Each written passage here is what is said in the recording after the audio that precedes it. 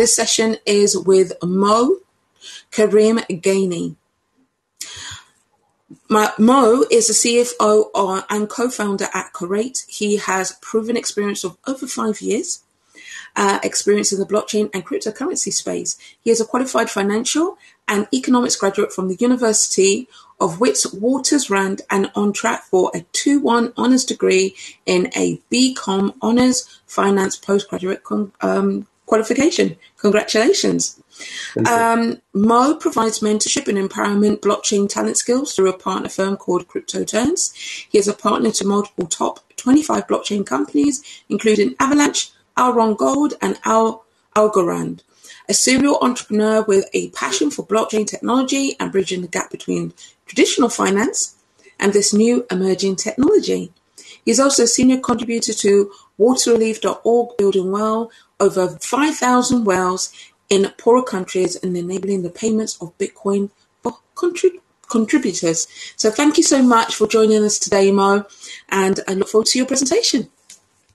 Thank you, Lavanya. Hi, everyone. My name is Mohammed Carrim Ganey, and I am the Chief Operations Officer and co-director of the Curate NFT Marketplace app. Um, firstly, I'd like to thank Lavanya and Sonia for having me here. It's a real honor to be speaking at Bitcoin Africa. So to start off, I'd like to tell you guys a little bit about my journey. It began as a curious 17-year-old teenager with a passion for technology. I was a highly curious young man who always wondered how things work and what they do no matter what it was, I wasn't enjoying. I wasn't not enjoying the ride, but I was trying to see underneath it and how the thing actually worked. And luckily, in a time with Google nowadays, it's kind of easy to get those answers. But the tricky part came in when my eager mind started to wonder, and I would start to ask how this could be improved. And today, I'd like to share with you a little bit of my journey through the cryptocurrency space, because I feel to really understand where, why the cryptocurrency space is what it is today and where it's going is to understand the beginning. Because back when I started in the early days, um, the technology has remained the same for Bitcoin and Ethereum, but there's so much that has been built on top of it that have brought us the DeFi and NFTs that we have today, when back then it didn't exist. So now you may be asking, how can something have the same technology but have such bigger things built on top of it?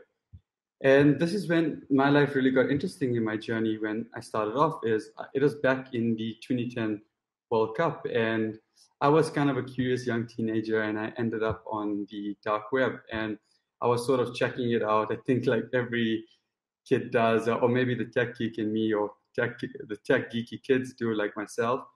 And I came across a Hitman for hire and next to it, I saw that it cost 6,000 BTC. And to myself, I just thought like, who or what is this Bitcoin? And my little curious mind wandered off again and led me to Google a little bit. And that's when I found out that it was some magic internet money.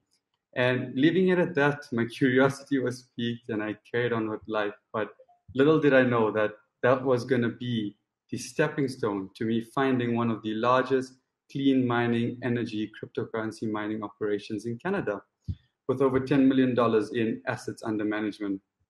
Having this somewhat obsessive, curious mind then led me down the crypto rabbit hole, which really sparked my intriguement, as given how rapidly evolving it is, and I was rapidly evolving with it.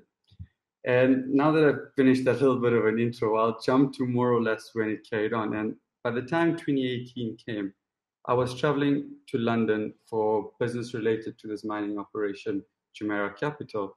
And we were actually having dinner at my aunt's house when my mentor at the time and now my close friend, um, randomly on the dinner table just called an Uber ride and said we're going to the Southwest. And bear in mind, I hadn't seen my family in over a year, and I was like, man, what the hell are you doing? Where are you taking us? And we randomly just set up, set up from supper and went to these people. I went to go visit, and this is actually the first time I met James Hakim, who is my partner in Curate, and he was working on a company called AdClicks then, also in the tech space, which was a unique um, advertising network. And James asked me, Mo, what is it that you do?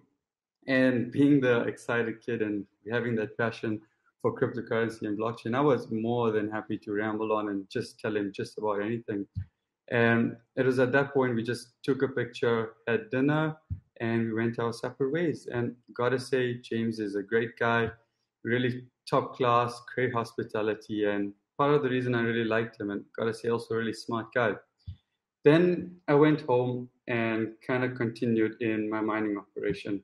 I promise you that all this build up of the intro is leading to something, and you guys are gonna love it. It's gonna really put a lot of context to DeFi.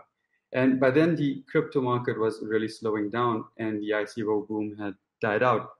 Lots of people had lost money, and there really wasn't much interest in the cryptocurrency space.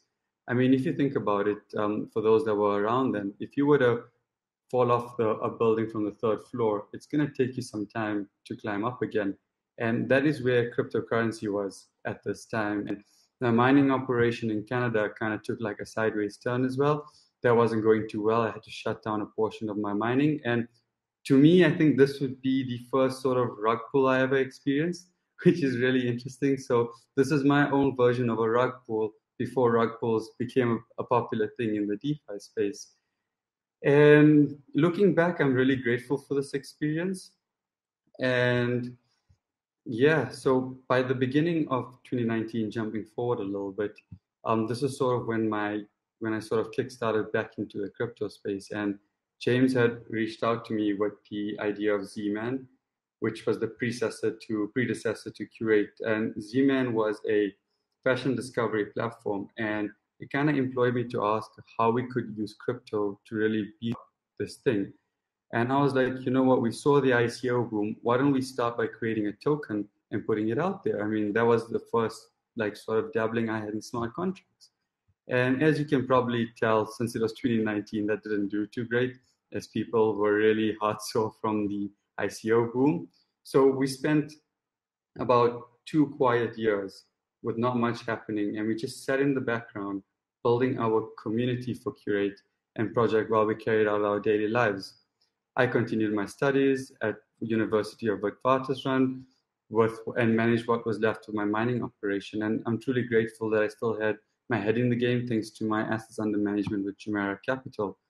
And then this is things got really exciting because by July of 2020, my time started to free up and I stumbled across DeFi. And to me, this was sort of the first time I had seen this sort of a use case in cryptocurrency. So for those that don't know, DeFi is decentralized finance. So it's basically looking at providing returns or anything financially related services on the Ethereum blockchain or on a blockchain for that matter, looking at the wider ecosystem today. And when I stumbled across this, it was like, yeah, this is something super new, something super exciting. And that good old fire of the 2016 to 2017 bull run started to stir up in me again. And things were looking crazy. And then these yield farming protocols were like providing these five digit returns. And there were rug pulls happening on projects. And what's interesting about this is with these yield farming protocols, what it was actually doing is there was something called decentralized exchanges that came about. So if you think about Uniswap, SushiSwap and the PancakeSwap being the three most popular today, um, this really broke down a big barrier of entry to cryptocurrency by allowing projects who had a token to make it a liquid token without going through the extensive measures of listing on a central exchange, whether it be the requirements, which were costly, or the listing fees, which are even more costly to, to think about.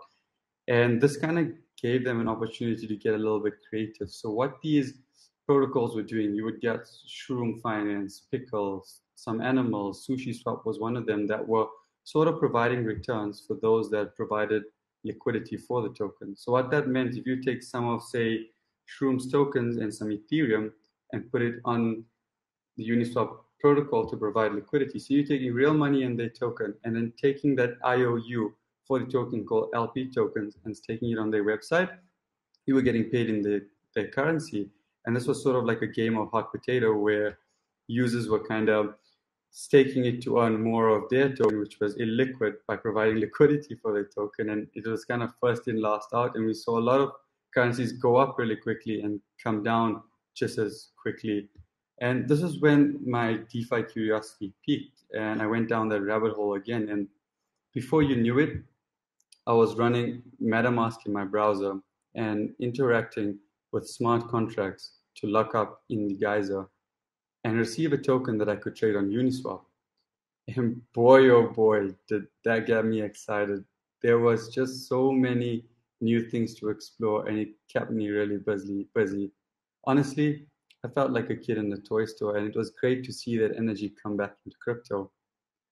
So this continued for months and months. And once I felt like a sort of a regular in the space and I got my way around the dexes and the farming protocols and stuff, I turned my head to curate and I was like, hey, this has got to be a golden opportunity. We got to capitalize on this. I mean, this could be big. And I immediately hit up James again. And I was like, right, you know what, James? I know what we got to do. And going down the DeFi rabbit hole had led me to find a bunch of so called moonshot Telegram groups. Um, now, I don't know if any of y'all had come across this in your experience with DeFi, but if there was any space to find a small cap gem, which is an up and coming currency, it was on these moonshot groups. And we started to reach out to these guys and schedule AMAs with them to spread the word of Curate. By the way, Z-Man had now transformed in Curate, which I'm sure James would agree is a much better name and much catchier as well. And together, James was running these AMAs, and I started working on getting a little bit of CDETH to list onto this Uniswap DEX. And that was incredible. And boom, we had our token listed because we couldn't reach the high entry level of the exchanges. And this was a nice way that opened up the opportunity for a lot of small projects to actually get their, their stepping in the game. And it was really exciting. And this was a really just big moment for us as a team. And James continued during this to run the AMAs and use his sweet charm and good looks to spread the awesome word of Curate and what we were doing. And I just wanted to join this DeFi revolution. So I went on from this to create my own little farming protocol for Curate called Curate.finance. So it, it wasn't a fruit, it wasn't a vegetable, and it definitely wasn't an animal. Something a little bit more serious. And we kind of did the same thing, put this ridiculous APY and played around in this. And what was exciting is I really got to see how the smart contracts had changed from the days of the ICO, where it was simply just a smart contract that minted a token with an amount and a name. And now that had evolved to kind of adding some mathematic coding to it that allowed it to provide a yield. And the the, the possibilities were kind of like spinballing. I mean, there were some people that were doing token lockups where you could lock it for a certain amount of time. This led up to doors where you could will execution and even bond issuing if we go a little bit further, as you'll hear later. And by January of 2029, we continued to spread the word and develop behind the scenes. Alongside that, the blockchain ecosystem was expanding and more and more tokens were popping up like wildfire. I mean, there were more tokens in a day than I had meals in a day by far. I mean, there were thousands. And this is when we saw the Ethereum network start to get a little bit clogged up because of this greater attention on DeFi. There was just so much volume and so many transactions with people interacting and experiment that Ethereum fees started to get really congested and the network fees skyrocketed. I mean, at its peak, we were looking at maybe about $200 at its peak. And this resulted in an alternate chain, Binance Smart Chain, which became quite as popular as well, forming. And with this parallel ecosystem of Binance Smart Chain, being on Ethereum, to get to Binance Smart Chain was not very simple. It was pretty complex, even for somebody like me that was well versed inside the crypto space. And the thing is, both these ecosystems really had incredible projects being built on either side. I mean, Ethereum being the main one has the most users, obviously being the most developed, had absolutely great protocols like Aave MakerDAO, and the list goes on forever. But at the same time, Binance Smart Chain had its capabilities, and features like PancakeSwap and Binance Smart Chain launchpads were popping up that were really bringing to light some awesome projects.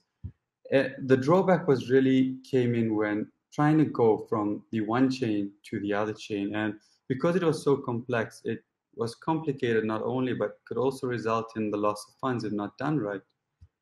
And both these ecosystems actually had strong user base and trying to explain to someone new to crypto was immediately evident to me that if someone is on Uniswap, in order to participate in something on the PancakeSwap, they needed to go through a bridge. Now, to go through that bridge, you first needed to have MetaMask, a third party wallet stored up, back that up, which is a whole nother story on its own, approve the tax, click the swap button, and then manually input the RPC for the BSC contract at the time, and then switch wallet servers to retrieve your tokens on the other side, and then do what you want to do on the Binance Smart Chain chain, only to have to come back to Ethereum doing this in reverse when you want to when you want to get back to the ETH chain. And honestly, just saying that is already a mouthful. And the innovator inside me couldn't help but to think of a better way to go about this. I mean, you got to think that something like this is not accessible, and there's got to be a better way that we can interact with all these ecosystems. But this sparked sort of a light bulb moment to think like, okay, if there's an alternate chain popping up now, there's got to be more chains that are going to come up because there's a lot of improvement that can be done, but it doesn't re- make these obsolete or redundant. And such, I thought to myself that for blockchain really to gain new users, it now needed a solution that was interoperable with all these blockchains. So whether it be Curate's very own exchange, Solana, Matic, Ethereum, Binance Smart Chain, Algorand, Avalanche, whatever it may be, they, these chains had to be interoperable, and anything we build upon this had to be blockchain agnostic without any of these complexities. Because despite some of these communities being small, I mean, you could see they were growing really rapidly and they were getting really strong user bases with some really great revolutionary innovative stuff as such as blockchain. And in the space, we kind of saw something somewhat of a walled garden kind of forming. And this became a major motivator for myself. And I began plotting a backend flow that would allow all the complexities to sit with somebody like myself and my team, or people that have been in the cryptocurrency space and have seen its evolution, to really take that and simplify it for the newcomers because being here for so long, I knew how overwhelming it was, but it was just as simple as in 2017. And I wanted to take this onto myself and simplify it for the users and allow a harmonious, non restrictive ecosystem with the benefits of this ecosystem of all the chains brought nicely together into one simple website or app. Thus, the Curate's blockchain agnostic MVP of Curate was born. And we pushed on to create the Apple experience that everybody knows and loves today. And I'm sure on your end, you're probably sitting on an Apple device now, some of you, and just know how simple and easy it makes in everyday life. And that's when we started to imagine a solution with all the advantages of blockchain technology, but with no understanding needed to build upon it but you could benefit from the entire ecosystem. And with this mindset and res- the resources we now had available due to the strong positioning we had established using my little venture into DeFi, I set out to solve all the little things that annoyed me and I felt could have been done better in crypto space.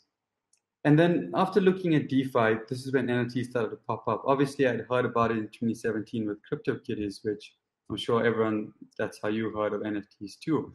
I was like, hey, why don't I go and try my and make my first NFT on Rarible?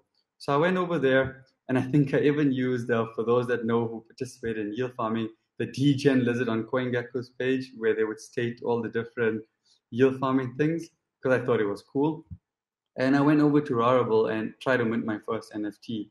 And boy, oh boy, was it flooded with fees, approvals, complexities, and steps that could have just really have been made simple. I mean, people in crypto are really smart and super innovative.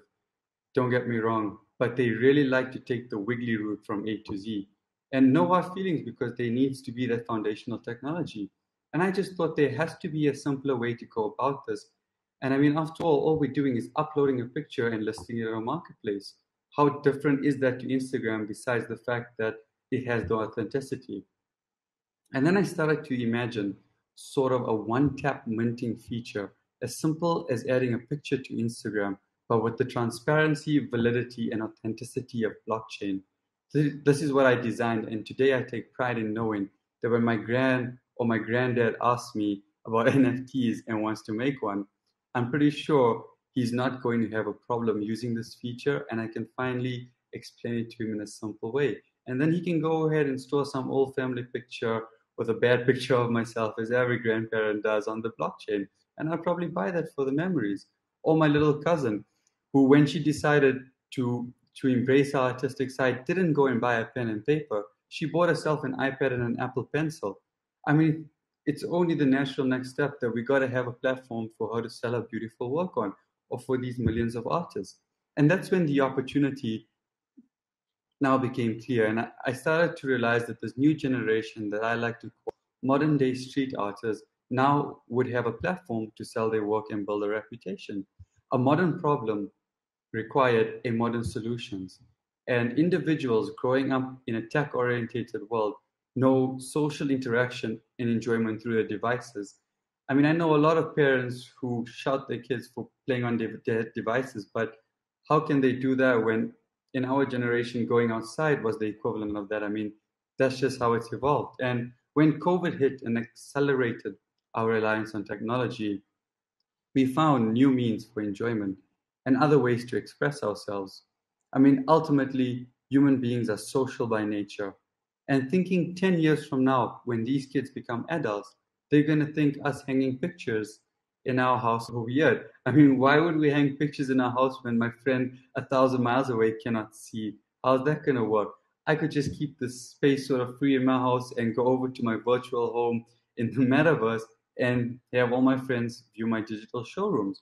There's no doubt one day we're going to see crypto CryptoPunks and that being hung out there in the same way Van Goghs are viewed. These crypto CryptoPunks are going to be viewed as the Van Gogh that started the pivotal point of this technology revolution in the digital art world. And what this space truly needs to build a gap, and just to close up on the other point, it's just the natural evolution that we're going to see this transition into a more fully functional digital world and it's bound to happen if not accelerated by the trajectory of COVID. And what the space really needs to bridge this gap is to tackle the major issues of simplicity and accessibility. And right now, the, dev, the blockchain and cryptocurrency space is very much what I like to call a layered dev space, meaning it's really complex. And it's not tailored really to the regular consumer. I mean, imagine you go to your favorite car dealer, BMW or whatever it may be, and your car manufacturer doesn't sell you the car, but rather they sell you the instructions on how to build the car for you to drive the car. And that's where blockchain truly is right now. And being in its early stages, this is completely normal for cryptocurrency. And through time, it will evolve. To me, something is truly only important if it adds value to my life. and makes it easier. And without a doubt, blockchain adds value.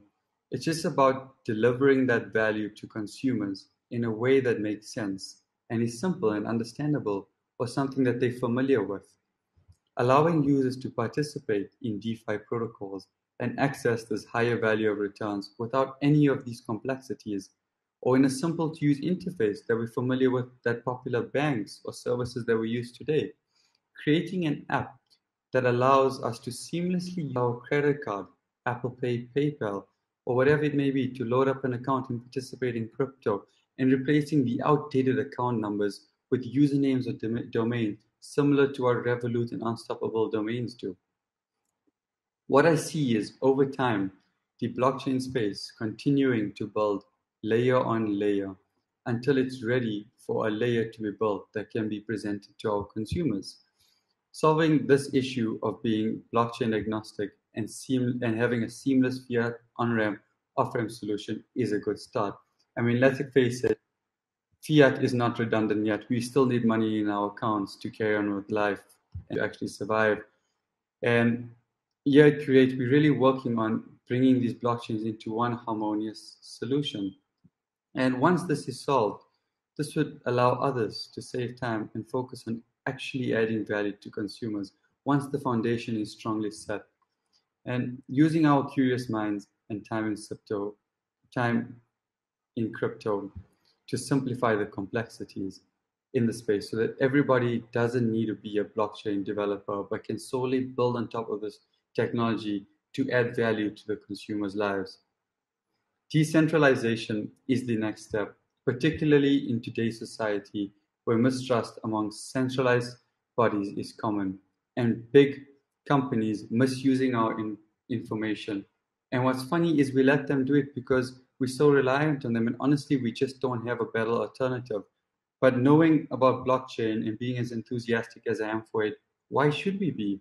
When there could be a safer, more fair alternative. No one individual or company deserves that much power, and blockchain decentralization makes that possible. To add to this, did you know that 1.7 billion people worldwide do not actually have access to banking? I mean, that's crazy in a society that's not only flooded, it's actually becoming in, in a society that's not only flooded with technology, but also encouraged upon, particularly now with COVID, where physical money is becoming obsolete or is actually becoming discouraged because of, well, you don't want to the money because you might get sick.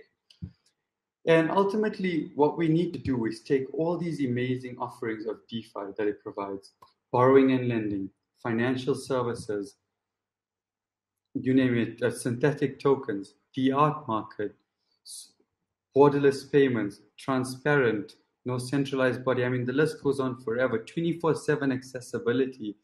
And really take this and bundle it into something that the, the user can use and that is simple for the users. Then we can look at NFTs and how it's empowering digital artists and transforming the way collectibles are collected and social clout is obtained that's just only scratching the surface as these applications will expand. As popular as you see, so with the DeFi, DeFi craze that started off crazy, as I mentioned before, with yields and rug pulls, and how it evolved into protocols like Aave, MakerDAO, and Curate's own wallet, as you see today, that are really providing beneficial and useful financial service products that are actually outbeating and outpacing inflation, unlike your traditional financial products it's actually 100% collateralized too, so safer than your banks. I mean, bank runs are possible, as we've seen in Greece, happened not even too long ago. That these will provide a financial service that are more efficient than traditional institutions, trustless and easily accessible. And I'd like to compare NFTs to DeFi in its early stages and could even be seen evolving to medical applications, which I'm not going to touch on today. Digitizing ticket events to prevent freeloaders coming into events is something NFT could solve. Bond issuing tokens in the form of NFTs could be solved.